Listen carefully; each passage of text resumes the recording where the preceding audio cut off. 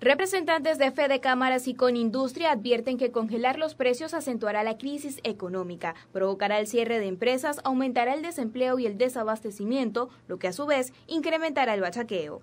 Juan Pablo Lalquiaga, presidente de Conindustria, afirmó que esta medida sería un acto irracional por la acelerada inflación que hay en el país. Destacó que los costos de producción suben constantemente y que si estos aumentos no se trasladan al costo final del producto, los empresarios producirán a pérdida y en poco tiempo cerrarán.